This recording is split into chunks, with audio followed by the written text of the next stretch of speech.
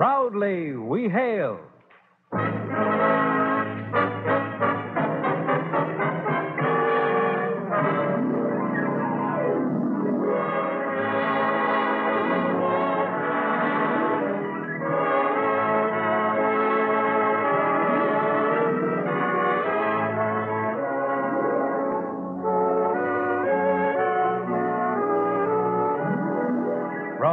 York City, where the American stage begins, here's another program with a cast of outstanding players. Public service time has been made available by this station for your Army to bring you this story. As proudly we hail the United States Army.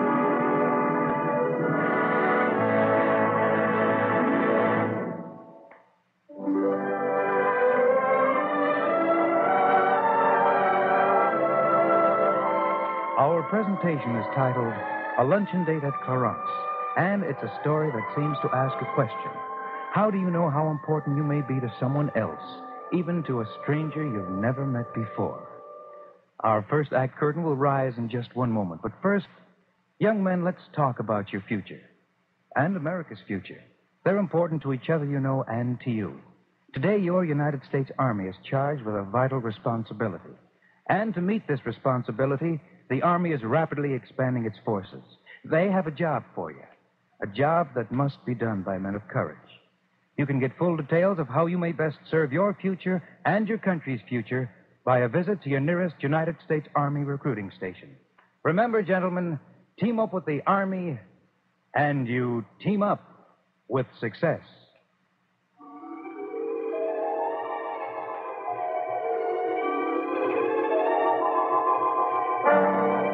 It's amazing how your actions can sometimes indirectly affect someone else. I'm, I'm sure what happened later wasn't an accident, although it might have been. Who, who knows whether these things are planned or whether they just happen? Uh, that could get us into a great big discussion, and when it would be over, we'd know no more about it than we did at the beginning. Well, getting back to the story that I want to tell you, a routine army transfer sent me back to Germany. Me and my wife, that is. I'm first sergeant of a rifle company, and Marcia is a lab technician in the medics, and she was able to transfer with me. We both liked our new assignments, and before we knew it, time had passed, and we both put in for furloughs. We thought we'd spend a couple of weeks driving around Europe. Now, as we drove south through France, I happened to realize how familiar the countryside was. Twelve thirty.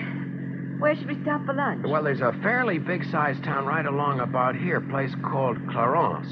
I don't see any signs of a town, Bill. Oh, I'm, I'm, I'm, I'm sure of it. My outfit came up through this way back in 44. I, I remember this stretch pretty well. Oh, wait, wait a minute. There's a road sign. What, what does it say? Oh, Clarence. Eight kilometers. That's right, about eight kilometers. Say about, about five miles. You know, right around here is where I met your brother. I don't think I'll ever forget that night. I don't think you should either. Don't worry, I won't. I've heard about it enough. Yeah, well, just, just think. Just think. Both of us were lost. We were in different outfits. We didn't know each other. If I hadn't met him that night, we wouldn't have looked each other up after the war, and I never would have met you. Why don't we send Jim a postcard from Clarence? Yeah, sure. Say, I wonder whatever happened to the druggist and the doctor, those two Frenchmen in Clarence. I always meant to go back there one day and look them up, but you know how it is. Would they still be around? Well, why not? They couldn't have been more than 40 or so at the time. Two nicer guys you wouldn't want to meet anywhere. Say, when we get to town, why don't we ask them to have lunch with us? Wonder if they'll remember me. Funny, I don't, I don't even know their last names. I, I, I think one was called Etienne and the other Henri, but I can't be sure. Well, how can we look them up if you don't even know their names? Well, I remember the house in the street where the druggist lived. We shouldn't have any trouble. I was only there once in my life, and it was a dark night, but I'll bet you I can pick it right out. Say, it's a shame your brother can't be with us. What are we stopping for? Well, let- let's get out of here for a minute. There. You, you see that farmhouse? That's where Jim and I met. My rifle company was attacking. Jim was part of a machine gun section from the heavy weapons company supporting us. The Germans sure had an ambush set up for us. Why did you tell me about it after You know, lunch? we, we, we didn't know it at the time, but, but here was where they were ready to counterattack. Our one company walked into a whole regiment of them. You wouldn't know it to look at it now, but right here, this is the field that we were moving across. Uh, Captain Henley, he, he was our company commander. I was just his runner. There, there was a big shell hole right about here. No, no, no, no, no, closer to the road. Well, anyway, he and I.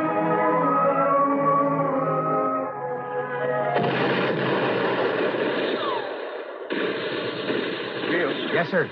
Hunter's just come back from the point. There must be a whole Jerry Reserve regiment coming at us. We'll have to fall back to battalion at Clarence. You know where that machine gun section leader from H Company is? Well, he should be about 50 yards behind us to the left. Yeah, let's see if we can get to him. Tell him we have to pull back and tell him to give us all the covering fire he can. Yes, sir.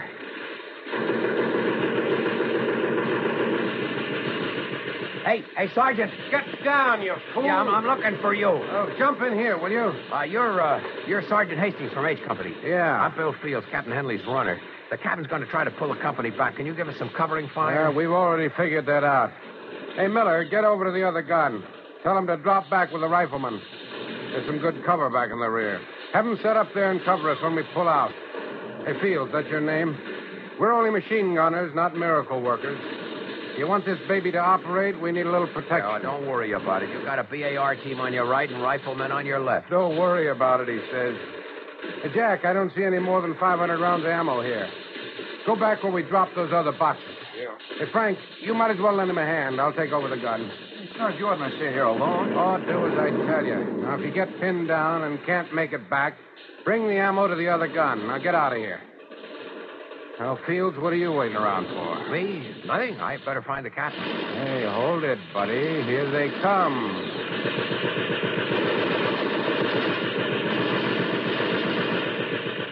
Uh, let me get around the other side and feed you the ammo. I'm not stopping you. Did you ever see so many Jerrys? Look, look, look. They're dropping back and looking for cover. That's good. Every minute we hold them counts. I don't hear that BAR team. And I don't see those riflemen either. I got a strange feeling there's no one here but us. Uh-oh. What? They're firing. In back of us. Buddy, we've been outflanked. What are we going to do? They just bypassed us. And when you hear them in the rear, there's just one thing to do. Get out.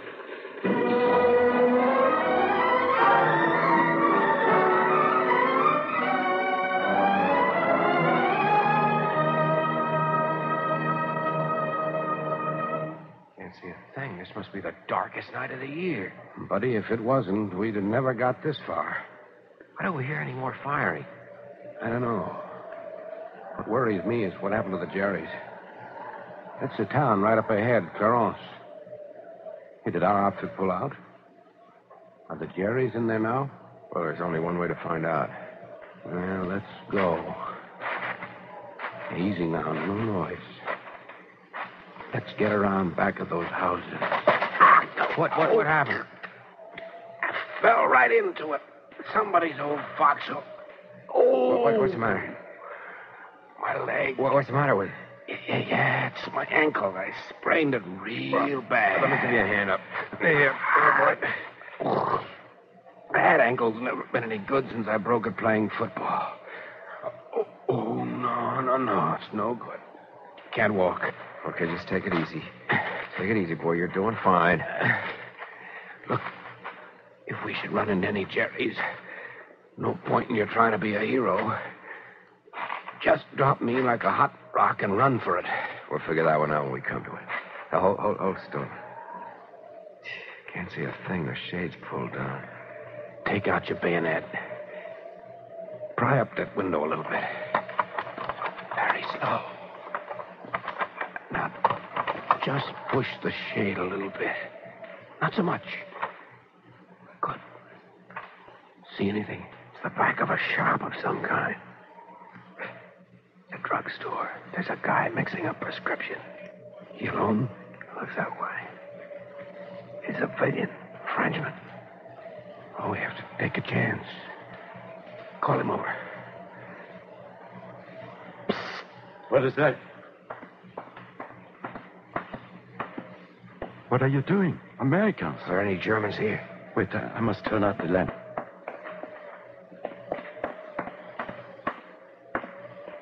The Boche, they are in this town. They have it again. What do you do here? You must go quickly. Where's the American They've gone back across the river. You cannot stay here. What is the matter with your friend? Uh, my ankle. I can't walk. Bad, bad. Something must be done. You cannot remain outside. Uh, you and I will help him through the window. Then you, the sound one, climb in after, huh? okay. Right, Cap, give me a hand. A little more now. Right, just more now. Oh, there, come on. It's almost at it. Now follow me. We will go down this cellar.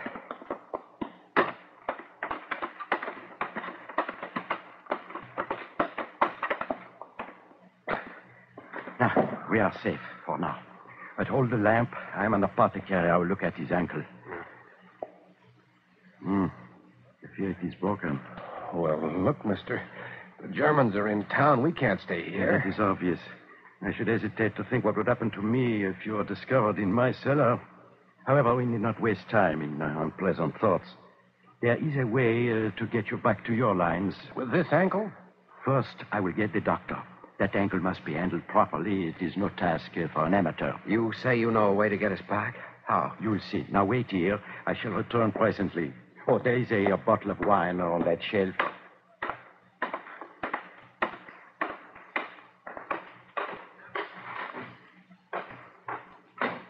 What do you think? I don't know. I guess we're stuck. Of course, he could come back here with a squad of Germans. I thought of that, too. He doesn't look like the type. Who knows? These people live through four years of war in their own backyard. They've been through a lot. Sometimes a guy figures he has to survive best way he can. Well, this is the end of the line. All we can do is wait. Well, anyhow, wine's pretty good. Here, try some.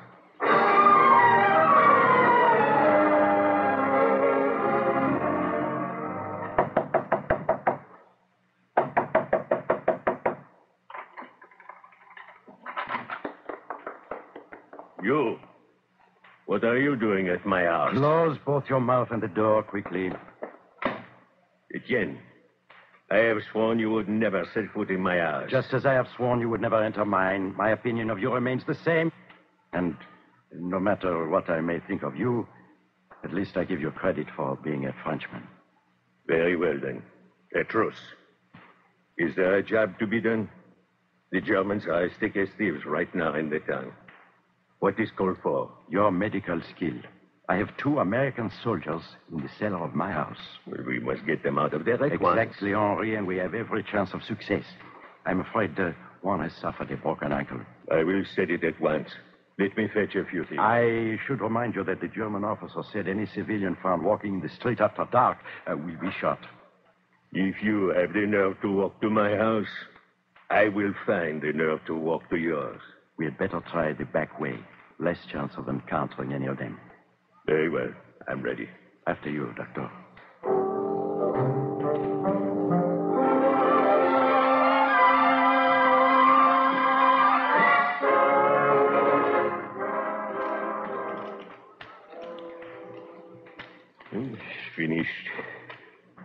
Understand I could perform far more creditably under hospital conditions. Oh, this is all right. This is fine. As a doctor, I should prescribe absolute rest, but I realize this is an unusual situation. When you walk, lean heavily on your comrade. You, uh, you said we could get out of here. You still haven't told us how. Our town of Clarence has always been a secret headquarters of the resistance. We have much experience in hiding fugitives. Etienne has a tunnel underneath the cellar. It leads straight to the river. You will come out at a cave near a narrow part of the stream where it is shallow. You have an excellent chance of getting across. And then you will be with your own troops. Sounds good. We must leave now while it is still dark. Uh, I will go with you. Good luck. I know we'll make it. And I don't know how we can ever thank both of you. Thank us. For what? We are only doing our duty. But come, we have no time to.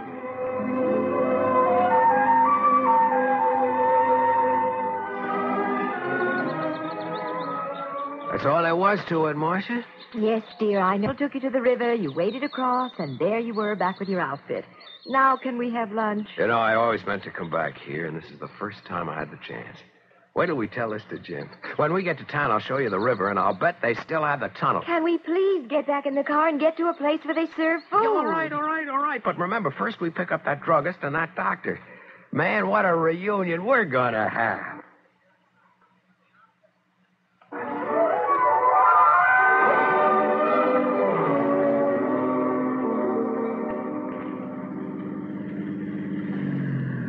Yeah, this is the shop, all right. I told you that I could find it first shot. Come on, I can hardly wait to see this guy again.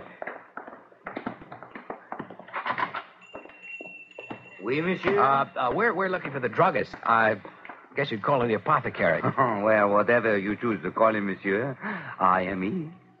Oh, do you do you run this place? Oui. Well, isn't there another man working here? No, no, I am quite alone. Well, maybe you made a mistake, Bill. It must be another drugstore. Another apotheke, madame? Oh, no. No, no, there is none other in Clarence. Well, what what happened to the man who used to run it during the war? Uh, I think his name is uh, Etienne. Oh, Etienne. I, I I hope he's still alive. Oui, I fear he is still alive. You fear he's alive? Where is he? He uh, is uh, in prison. In prison. Why? What for? Murder. He killed a man. Oh, I'm sorry. When when was this? It was during the war. He he killed a doctor. A doctor? Oui. It was the night the Germans uh, recaptured the town. Wait a minute. Wait a minute. Was this doctor's first name Henri? Of course. But how do you know? Wait. You are a soldier, an American. How. How do you know this doctor? I was here. You were here. But of course, you were here. Oh, Lord, have mercy on us. Then Etienne was telling the truth.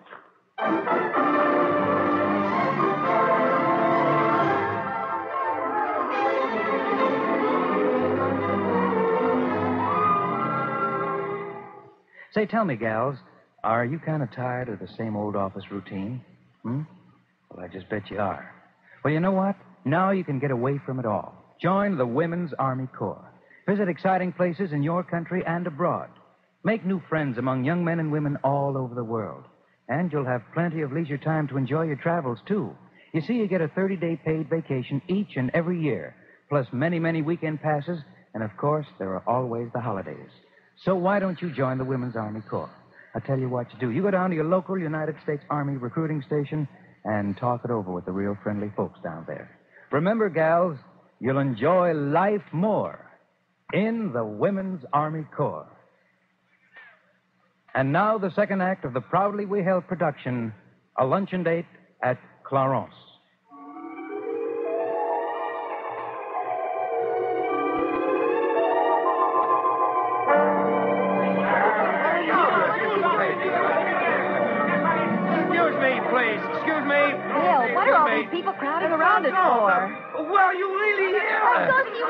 If he says so, it is true. Why should he lie?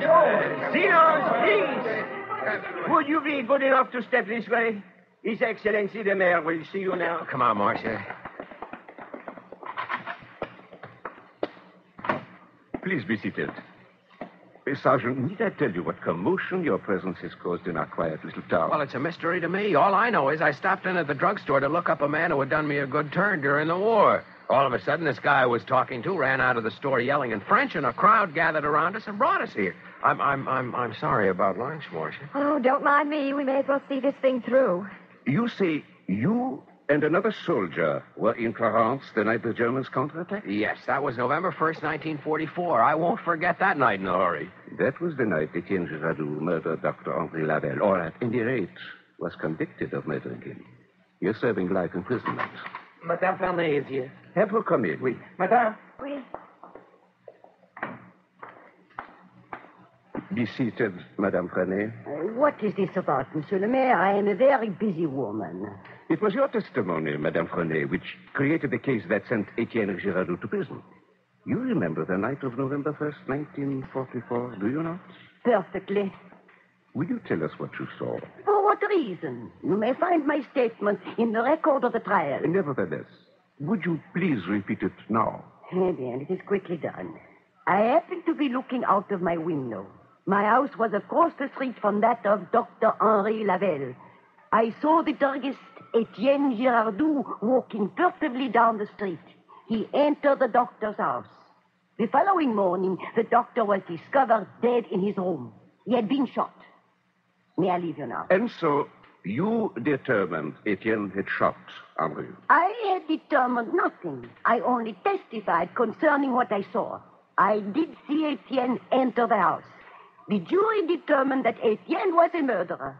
Uh, you were not mayor then. You yourself served as prosecutor. But it was your testimony that sent an innocent man to prison. Uh, you will not get out of it so easily, Monsieur le Maire. I know who this soldier is. The news of his presence here has spread like fire through the town. Until today, everyone believed in Etienne's guilt. I told the truth. Etienne himself admitted he visited Henri. Is it my fault everyone in the town allowed his imagination to run riot? All of us are guilty if Etienne has been wrong. Yes, madame, perhaps. But now we must see that justice is done. Sergeant, will you help? Mr. Mayor, I wish you'd tell me exactly what happened. I only did what I thought was my duty. If there had been some way of knowing who you were, how to reach you. You see, everyone in this town knew and loved Dr. Henri. And after the Germans were finally driven out, we held a trial. Yeah, but why should Etienne want to murder Henri? Oh, you did not know them. How they hated each other. How could you? After the Germans were defeated, our town was in an uproar. Everyone demanded justice. I will not forget that day. Etienne took the stand in his own defense. I had the perfect case against him. I made my reputation that day. How was I to know I was sending an innocent man?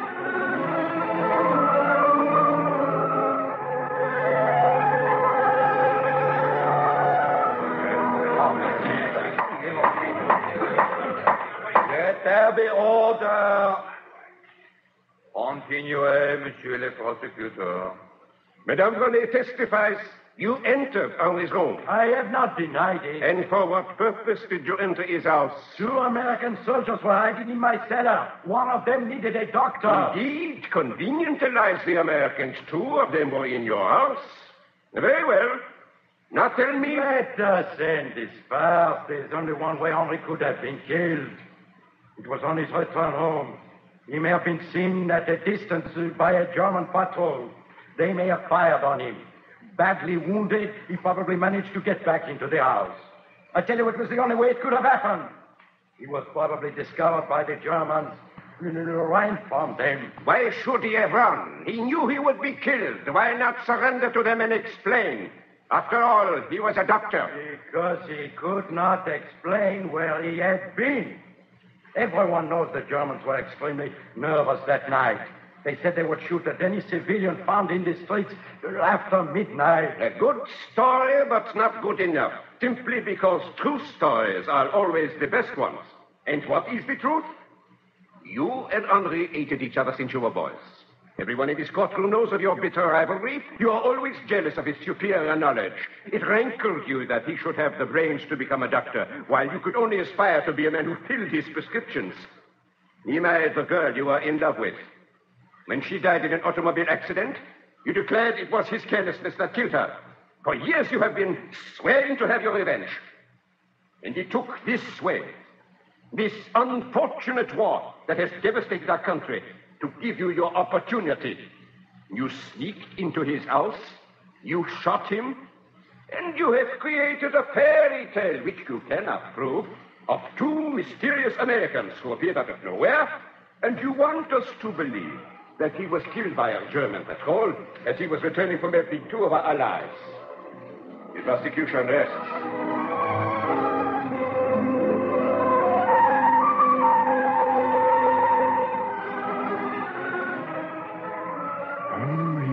Guilty, of course.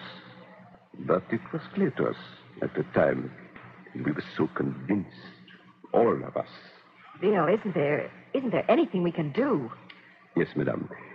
Obviously, the American soldiers did exist, and here is one of them. And therefore, Etienne did go to Henri's house to secure Henri's help, and not to shoot him. Sergeant, would you be good enough to write out a statement of what happened that night? Uh, just, just give me a pen and some paper. It will take you some time. Perhaps you'd better have your lunch first. Lunch? A man's been in jail for ten years. Lunch can wait.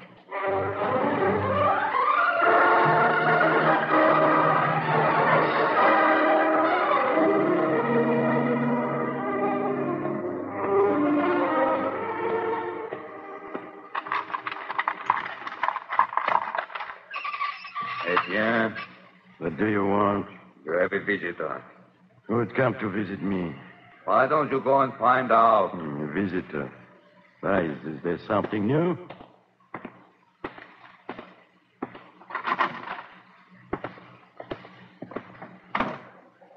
Hello, Etienne. Remember me? Who are you? No. No, it cannot be. It is. You remember the other soldier, the one with the broken ankle? Well, she, she's his sister. It's my wife. Wait. Wait. Now you can prove I told the truth. We've already done it. They even wrote out a pardon for you. I, I asked if I could be the one to deliver it. Does it mean that I am free? That's right, Etienne. Let me sit down. I must sit down.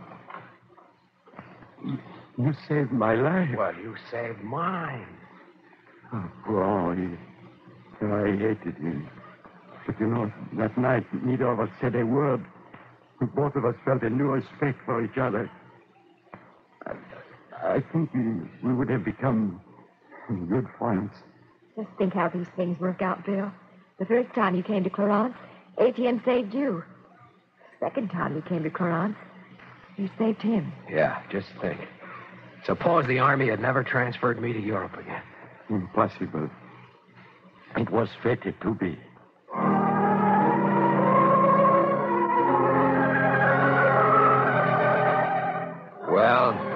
Pleasant return, as you can probably imagine. And Marcia and I still talk about it. It all started out because we both had a furlough and wanted to drive around Europe. And we just happened to pass by a town where I remembered just one incident that took place long ago during the war. But it worked out to be the turning point in another man's life. How do you figure these things?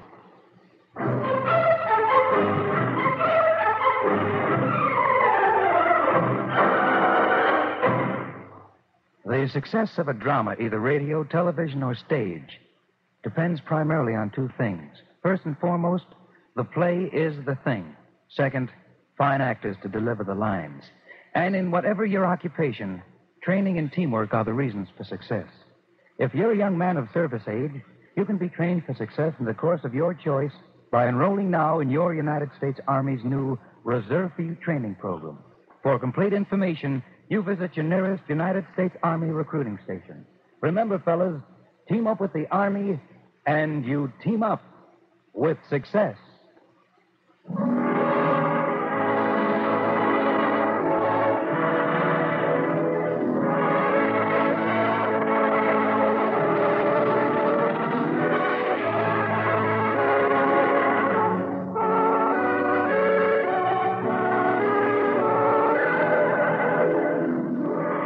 Has been another program on Proudly We Hail, presented transcribed in cooperation with this radio station. Proudly We Hail is produced by the Recruiting Publicity Center in New York for the United States Army, and this is Richard Hayes speaking, inviting you to tune in the same station next week for another interesting story on Proudly We Hail.